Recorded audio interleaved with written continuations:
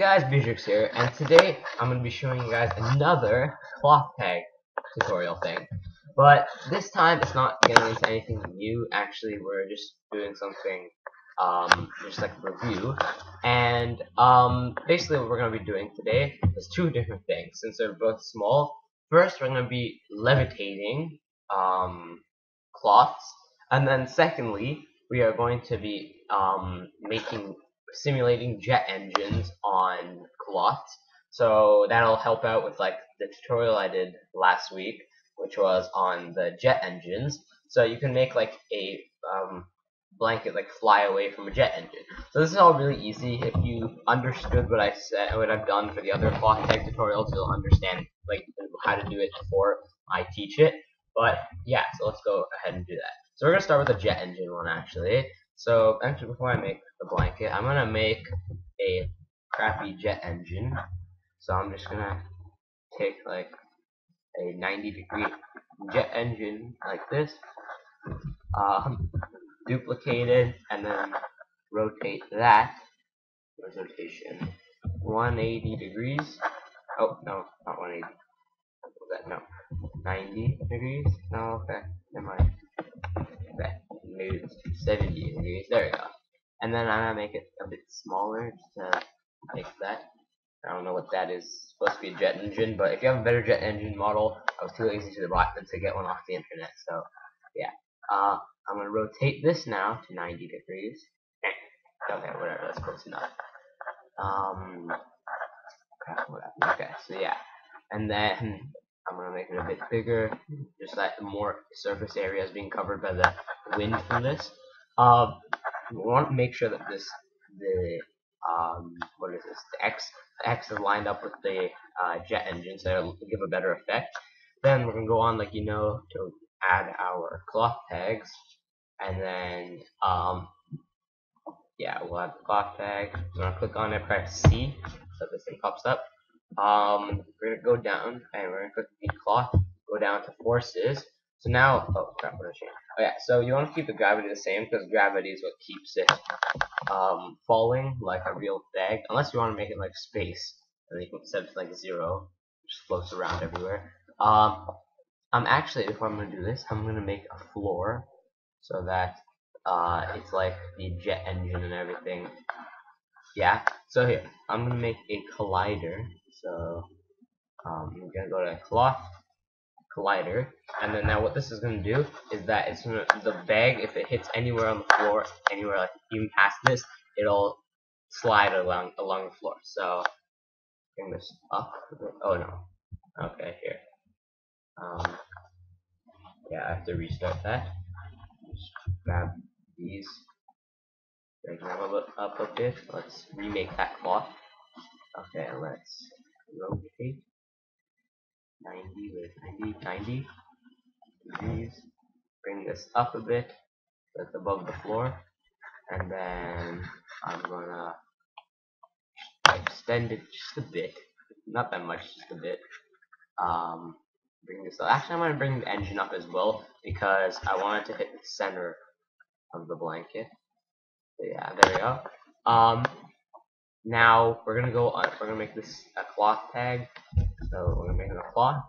And then now I am gonna go and change the wind direction only for X because X is the direction that is coming to us from. So we're gonna make I don't know like five, and then we're gonna take the wind strength. Now you're gonna make okay. Now you're gonna make the wind strength very large because um it's a jet engine. But if you get too large, it'll just mess up the thing. So hmm. Oh yeah, and then you need the strength. So. Yeah, so uh hmm. Oh that's not working. Did we do everything right? Huh. It's weird. Yeah, I'll be right back. Let me just find out what happened. Oh yeah, okay, okay, I fixed it. We gotta click on it and press C so that this thing will pop up. Um, okay, so right now, I think I made a mistake. Uh, you're supposed to make it actually negative. So if we click on the cloth and go to forces, put X, make X under negative, it flat because that'll make it go away from the jet engine of towards it. So five, and I realized that strength is the strength we made too much. Like you can't even see it. So if we make this, yeah.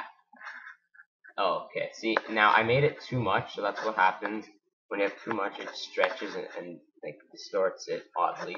So we don't want the turbulent strength to be that much, but we want the strength to be pretty big. Okay, that wasn't big at all.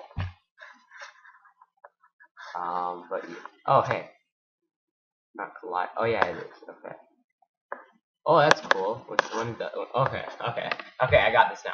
Okay, let's see. Delete the floor. Um, I'm gonna try and make an even larger floor so that this doesn't touch it. And get the other plane back up here.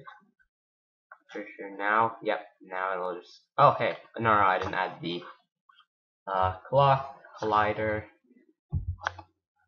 I believe that's it. Right? These work. Yes. Okay. I don't know what's happening with that. I don't know why it's flying this way, but well, you can figure that out on your own. Okay, so um, right now, I guess the last thing I just need to do is take up the strength a bit, and to do and so by doing that, it like blasts it away. You can make it even more yourself, but I just like leaving it like this. So that's pretty much it for that.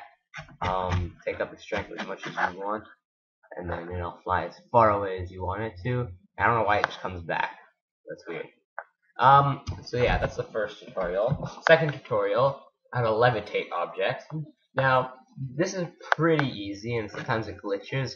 So, when you make your uh, cloth, after you make it, cloth, let's see, uh, we're not going to add any um, air effects to any forces. So, we're going to go under sphere, go down a bit, and then uh, make the sphere collider. Um, collider. Now that we have this, press C on that again. And then what we're gonna do with this is that we're gonna make this invisible in the editor as well as the rendering. So this means that you can't see it now. So we can try and click it. It's not there. You can only see it like that. Um, and then, yeah, so now if you drop this, you can see that it kind of like bulges up there. And there's nothing down there. But now, one thing else is that the clock goes into itself. So that's something else that like you can fix later.